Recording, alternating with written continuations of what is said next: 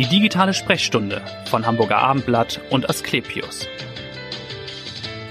Drei Prozent der über 50-jährigen Deutschen leben mit einem Aneurysma im Kopf, aber die wenigsten wissen davon und die wenigsten haben Symptome. Doch wenn ein solches Aneurysma dann platzt oder reißt, dann kann das lebensgefährlich werden. Und darüber wollen wir heute sprechen. Manche von Ihnen, liebe Hörerinnen und Hörer, haben vielleicht auch den Fall von Monika Lierhaus im Kopf. Andere kennen vielleicht den Fitness-Influencer Joe Lindner, der vor kurzem mit 30 Jahren erst an einem Aneurysma verstorben ist. Und die Frage ist natürlich, was tut man, wenn sowas entdeckt wird? Welche Behandlungsoptionen gibt es? Und das ist unser Thema heute in der digitalen Sprechstunde. Und ich freue mich auf einen Mann, der sich damit bestens auskennt. Professor Dr. Bernd Eckert ist heute bei mir. Er ist Chefarzt für Neuroradiologie an der Asklepios Klinik in Altona. Herzlich willkommen. Ja, hallo, Tag. Mein Name ist Vanessa Seifert. Ich freue mich, dass Sie da sind und auch, dass Sie zuhören bei dieser neuen Folge.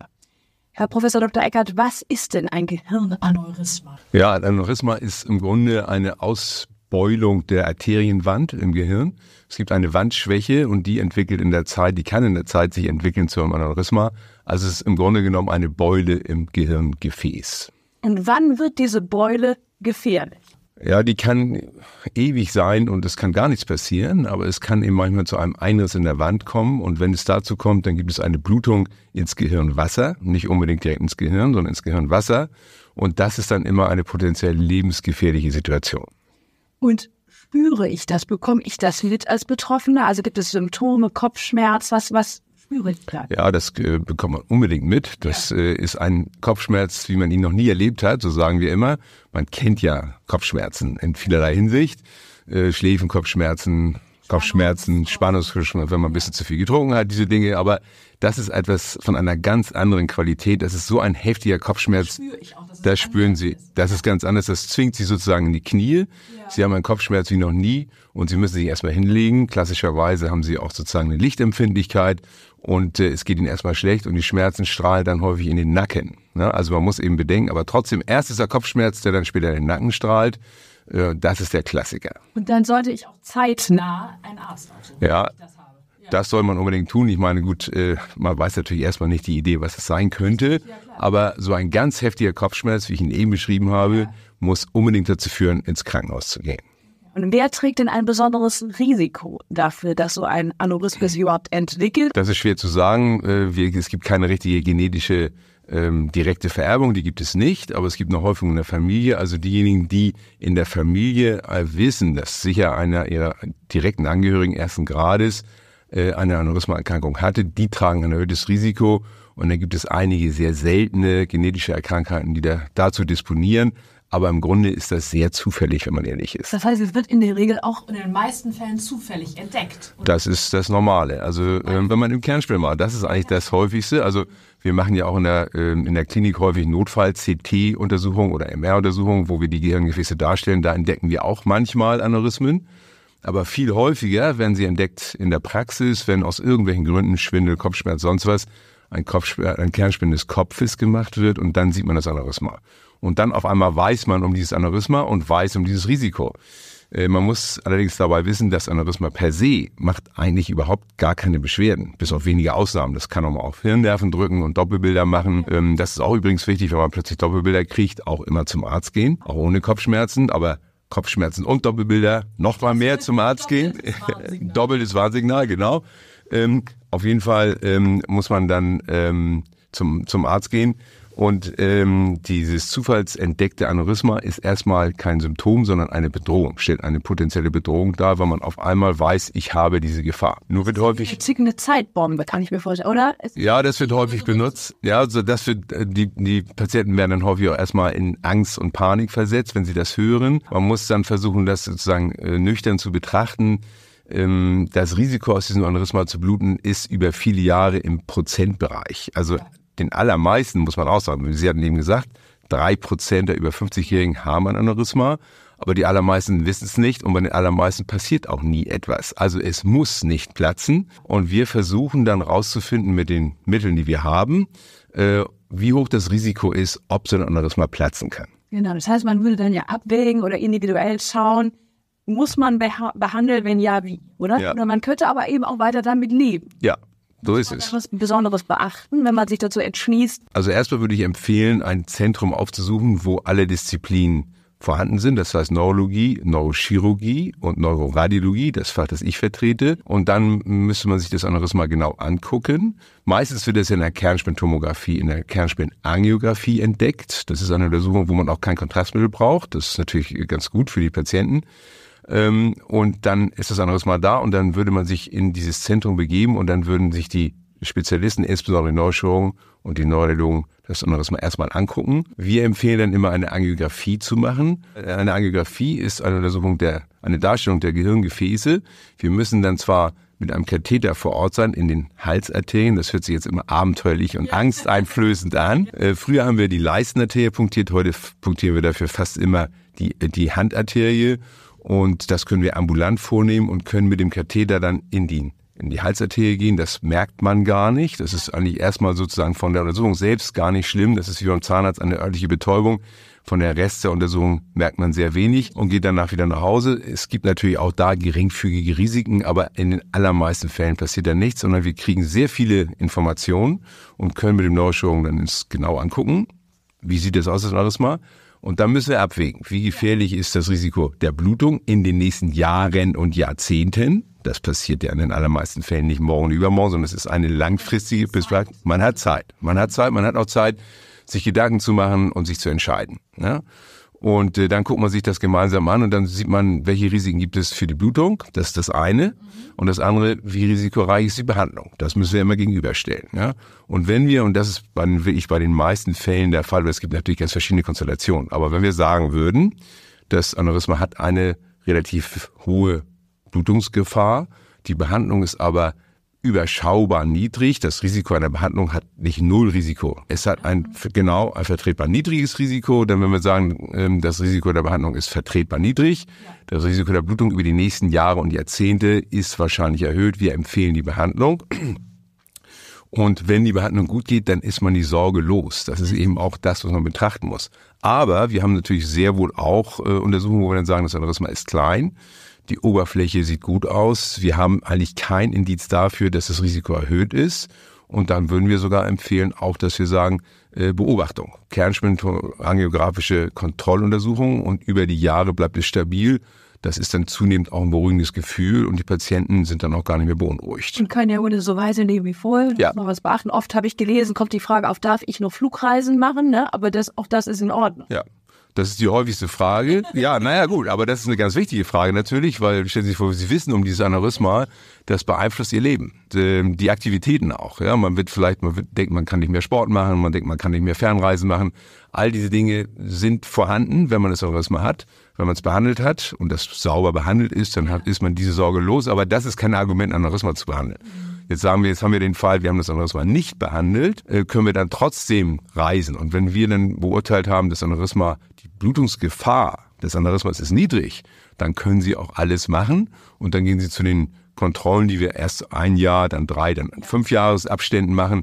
Und wenn er stabil ist, ist das Risiko natürlich auch da nicht null, aber so gering, dass sie alles machen können. Und man gewöhnt sich auch damit zu leben tatsächlich. Ich kenne viele Patienten, die ich über Jahre begleite und wo nichts passiert und das wird dann so, so hingenommen. Also die Bandbreite ist enorm bei dieser Erkrankung. Ja. Und woran bemisst sich das Blutungsrisiko? Sie haben schon ein bisschen angedeutet, ja. ist dann die, die Ausbeulung? Also wie groß ist das überhaupt? Ja, Sie haben schon die wichtigsten Dinge genannt eben. Das eine ist ganz ordinär die Größe. Große Aneurysmen bluten häufiger, ist klar.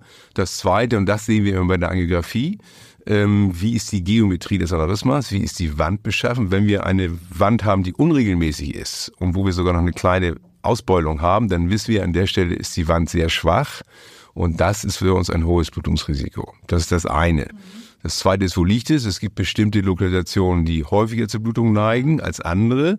Und das dritte ist, welche Risikofaktoren hat der Patient? Gerade wahrscheinlich die persönliche Konstitution spielt ja auch eine Rolle. Blutdruck oder Sehr richtig. Mangel, Rauchen wahrscheinlich. Also, ja, Sie haben gleich wieder alles genannt. Also die Faktoren, wann es blutet, äh, sind Rauchen, ist Bluthochdruck und allgemein äh, auch ein paar andere Erkrankungen. Aber das sind die wesentlichen Dinge. Und es gibt dann auch Patienten, die den Bluthochdruck trotz vieler Medikamente nicht in den Griff kriegen. Von denen können wir sagen, also die haben ein erhöhtes Risiko. Alkohol ist auch nicht gut, nicht, muss man sagen. Gut, also die gängigen Dinge eigentlich fast, ja, aber das kann man ja alles vermeiden. Und wenn man den Bluthochdruck einstellen kann, dann kann man auch die Risikofaktoren beeinflussen. Und wenn das ähm, Aneurysma ansonsten wenigen, wenig Blutungsrisiken hat und man die Risikofaktoren auch beeinflussen kann, dann kann man auch mit einem kleinen Aneurysma leben.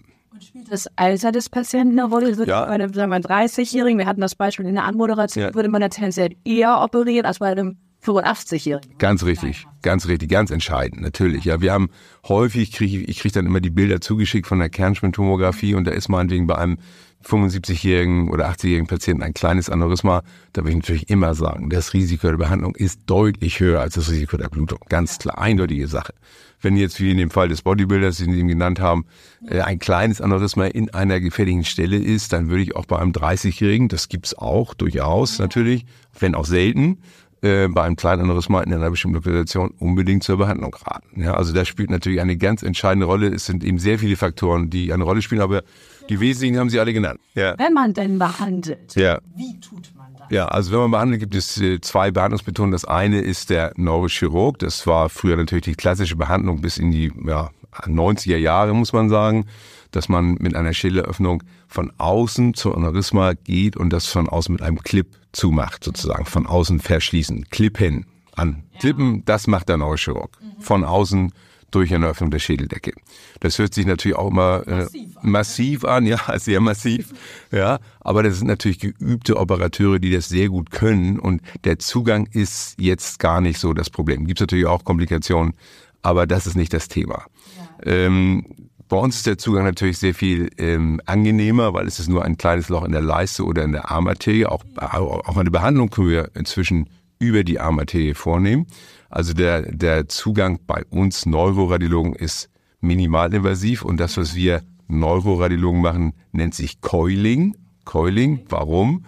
Weil wir gehen also von innen, das kann man sich zwar gar nicht vorstellen, aber das ist mittlerweile seit über 30 Jahren Routine mit äh, verschiedenen Kathetern, erst einem größeren bis zur Halsarterie, dann einem kleineren bis direkt in das Aneurysma. Das sind ganz kleine Katheter, das sind Drähte und Aneurysmen, die einen Durchmesser von weniger als ein Drittel Millimeter haben. Und mit bestimmten Techniken in der Angiografie können wir das so vergrößern, dass wir das bestens kontrollieren können. Und dann gehen wir in dieses Aneurysma und verschließen es von innen mit Platinspiralen. Und diese Platinspiralen sind englisch Coils, also Schleifen. Daher kommt der Begriff Coiling. Das ist so in den 90er Jahren äh, in Amerika entwickelt worden von einem Italiener, Guglielmi. Und äh, eigentlich hätte er dafür den Nobelpreis verdient, finde ich. Aber ja. Mediziner äh, kriegen heutzutage schwer einen Nobelpreis, das sind überwiegend Grundlagenforscher. Aber das hat natürlich die Behandlung äh, revolutioniert und inzwischen ist es so, dass äh, über 70 bis 80 Prozent der Aneurysmen auf diese Art und Weise behandelt werden. Der Zugang ist schon, aber das ist gar nicht das Entscheidende, sondern das Entscheidende ist, wie die, sind die Komplikationen, weil wir müssen ja immer die Komplikationen fürchten, was kann passieren. Es kann bei dem Eingriff bluten und dann kann es lebensgefährlich sein. Und es kann vor allen Dingen zu, zu dem Verschluss von angrenzenden Adern kommen, auch zu Thrombosen und dann kommt es zu einem Schlaganfall. Und wir haben eben in Studien herausgefunden, dass zumindest bei den gebluteten Aneurysmen, bei den nicht gebluteten ist die Studienlage nicht so klar, aber auch da spricht alles dafür, dass wir bei dem Coiling oder bei unserem Verfahren weniger Komplikationen haben. Ja, gut, das ist natürlich eine dauerhafte wissenschaftliche Debatte, die wir auch mit den Neurochirurgen weiterführen. Wir versuchen, im Studien Klarheit zu kriegen. Aber ja. Eins ist klar, wenn der Patient geblutet hat und das über unserem Weg, also endovaskulär mit dem Coiling, gut geht, dann sind wir diejenigen, die in der Regel das behandeln. Deswegen inzwischen 70 bis 80 Prozent der Aneurysmen. ist dabei bei so einem Eingriff für den Fall der erfasst. Das ist ganz entscheidend. Er ist zwar nicht beim Eingriff dabei, aber er ist bei der Entscheidungsfindung dabei. Das heißt, wir machen im Notfall die Angiografie und dann sehen wir uns das anderes mal an und dann entscheiden wir gemeinsam, wer behandelt. Mhm. Und dann machen wir es entweder wir Neurologen mit dem Coiling oder der Neurochirurg eben mit dem Clipping. Äh, und dann ist auch wichtig, dass er am Haus ist, weil es kann natürlich in jeder Hinsicht dann bei dem einen oder anderen Verfahren eine Komplikation eintreten. Und dann ist es wichtig, dass die eine Disziplin 24-7 im Hause ist. Das ist der zweite Grund, warum man mit so einer Erkrankung immer ins Zentrum gehen muss. Und wie oft führen Sie dieses Coiling durch in Altona ganz konkret, so aufs Jahr gesehen? Ja, wir haben so ähm, ungefähr 100, 100 bis 150 diese Eingriffe im Jahr. Mhm. Es schwankt mal, je nachdem. Es ist auch immer unterschiedlich. Haben wir mal äh, Zeiten, wo viele Patienten mit einem Einriss kommen. Äh, dann haben wir aber wieder mehr, aber wir haben eine relativ kontinuierliche Zahl an, an äh, äh, elektiven Aneurysmen, die wir also vorbeugend behandeln. Und das sind äh, ganz unterschiedliche Mal, waren es 150 Mal, sind es 100 so in diesem Größenbereich. Ja, also wir haben das äh, pro Woche mehrfach, diese Behandlung. Und wie lange dauert die E-Schnitt, die Behandlung? Das kann mal ganz schnell gehen, also das kann mal eine, eine Untersuchung, also man muss ja immer die Narkose noch und alles dazu rechnen. Der Eingriff selbst dauert ungefähr ja 60 Minuten bis 90 Minuten. Er kann in komplizierten Fällen auch länger dauern, weil das habe ich eben noch nicht erwähnt. Es gibt jetzt auch neue Techniken. Coiling ist sozusagen der klassische Begriff von dem, ja. was wir machen. Ja. Aber wir haben inzwischen ganz viele neue Verfahren. Wir haben kleine Körbchen, die genau auf, auf die Zehntelmillimeter bemessen in das Aneurysma reinpassen, die wir da absetzen. Äh, das sind so technische Feinheiten und wir haben. Die ersetzen dann diese Platinspiralen? Ja, anstelle der Platinspiralen tun sie ein Körbchen da rein. Und da gibt es also inzwischen viele Techniken, die uns ermöglichen.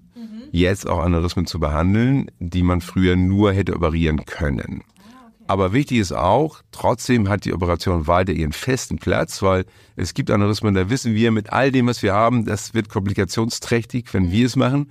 Das ist besser, wenn es der Neurochirurg macht. Es tut sich permanent irgendwas und man muss wirklich äh, auch aufpassen, dass man up to date bleibt und die neuen Materialien kennenlernt, sehr genau prüft, ob sie wirklich eine Verbesserung darstellen. Ähm, und das ist in den letzten Jahren bei vielen Materialien der Fall gewesen. Okay, das heißt, warum war das bei Platin so entscheidend?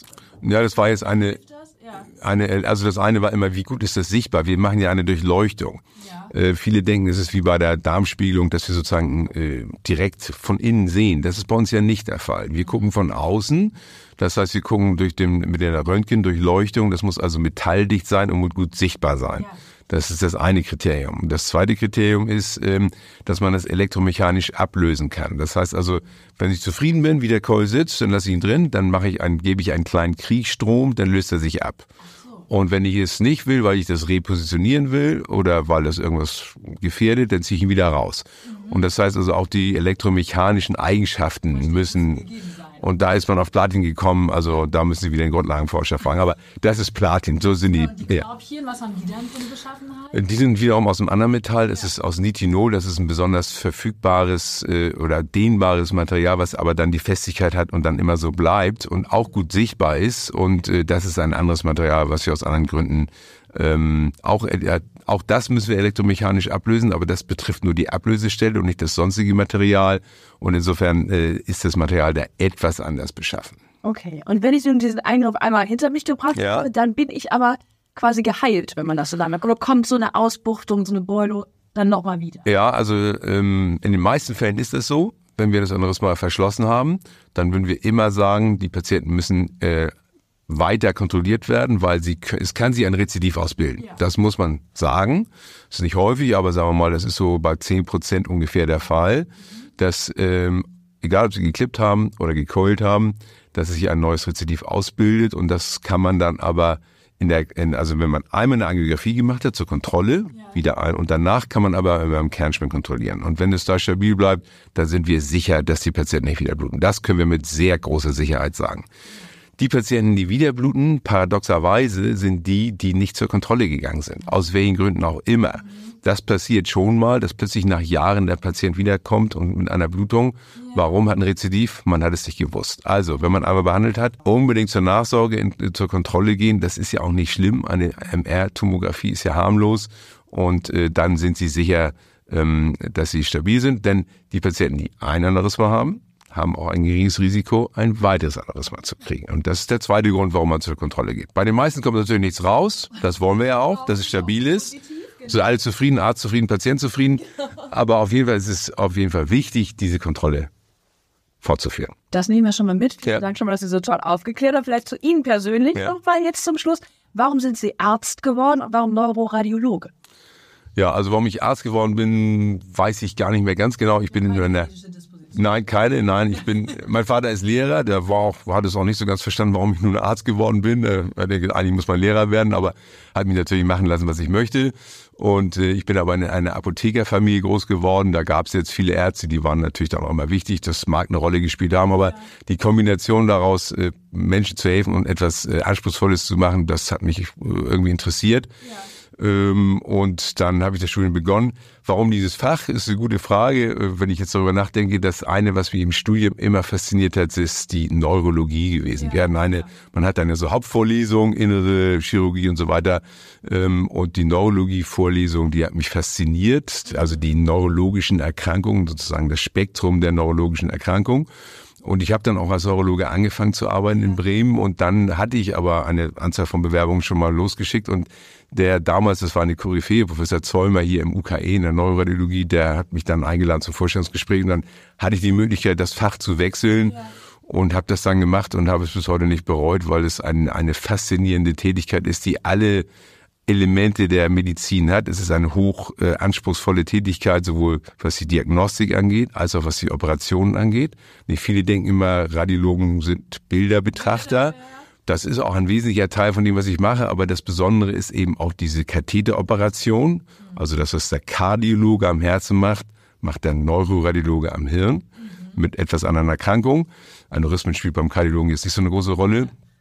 Aber wir behandeln ja auch äh, Stenosen und, und, äh, und solche Dinge und Schlaganfälle vor allen Dingen ganz entscheidend. Naja, und das ist sozusagen diese, diese Spektrum. Ja, diese Kombination ist außergewöhnlich und deswegen bin ich sehr froh, dass ich damals diesen Schritt gemacht habe. Ja, das spürt man auch. Und was tun Sie, wenn Sie nicht in der Klinik sind? Auch eine Menge. Nicht? ich versuche immer wieder noch im Tennis besser zu werden, obwohl das leider sehr frustrierend ist. Aber Spaß bringt natürlich. Und äh, ja, Radfahren, Sport ist wichtig und Familie, also das, das Klassische muss man sagen. Ja, also Sport für ich äh, nein, ich bin überhaupt nicht, ich bin ausgelassen. Ich sage, langweile mich nicht und freue mich sehr, dass wir eingeladen haben, weil es auch sehr angenehm und nett war hier bei Ihnen. Und ja. vielen Dank fürs Zuhören und hören Sie gerne wieder rein in die nächste Folge der digitalen Sprechstunde. Weitere Podcasts vom Hamburger Abendblatt